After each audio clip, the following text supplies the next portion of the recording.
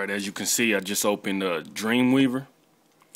So what I'm going to do is uh, click on HTML. And a new HTML, HTML page opens up. what I'm going to do now is uh, switch over to the site I want to copy. Switch over to Chrome.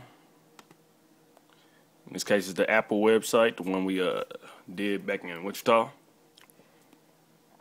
What I want to do is um, right click or, or two finger click on the MacBook. You go to view page source and we get this familiar page right here. All right.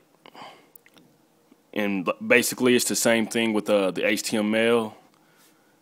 You uh, since this is like the overall HTML of the page, you just control all copy. You go back to your Dreamweaver. You go over that you highlight all everything on the uh, HTML page and you paste it. I'm using a Command V to paste. All right. Then um, it's loading up.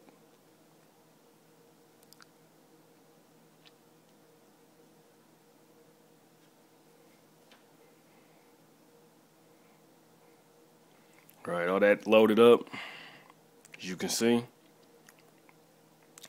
Go to the uh,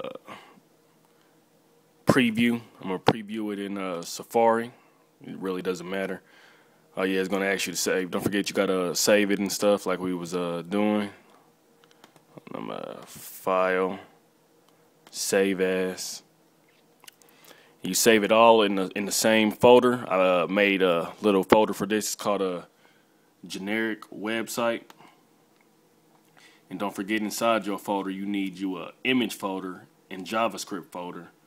Also a CSS folder. I forgot to put that in there. Alright, so I'm going to save the site into there. Then I'm going to preview it in Safari. Now that I save it, they're going to allow me to preview it.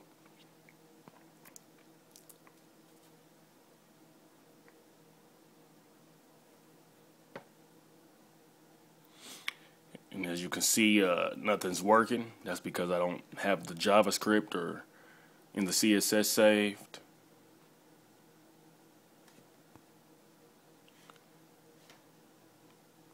But it's giving you the um, overall.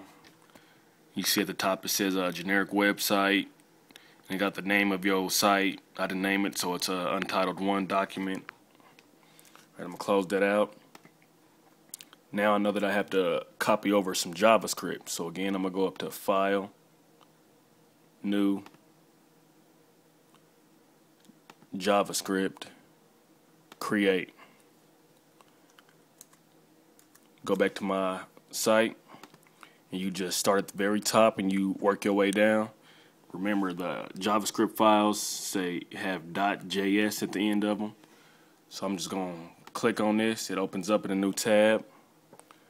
Control all or Command all, Command A, copy, bring it back over to my Dreamweaver, highlight that, Command V to paste that.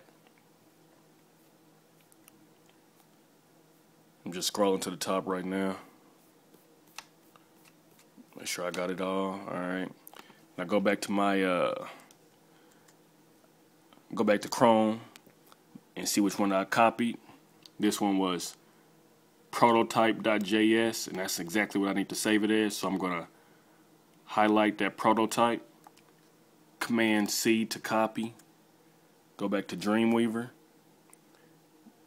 go back to my JavaScript file. Don't forget the tabs at the top show you what file you want.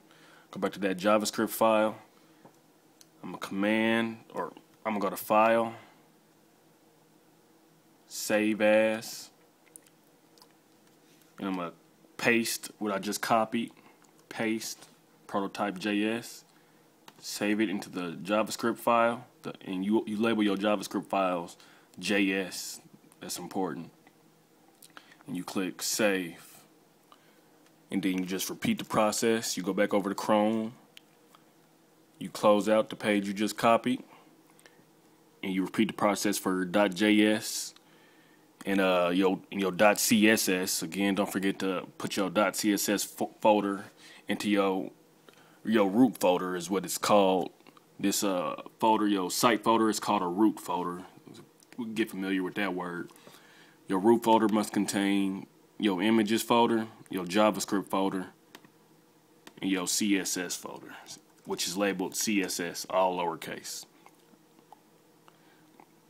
This right here is the home page. Uh, again, I didn't name it. It's just untitled-1html. And like I said, you uh, you repeat that process until you got all these files, and then your site will work right. Any more questions, just let me know. All right.